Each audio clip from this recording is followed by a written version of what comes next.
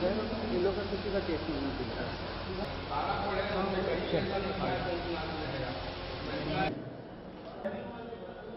steel colour का जो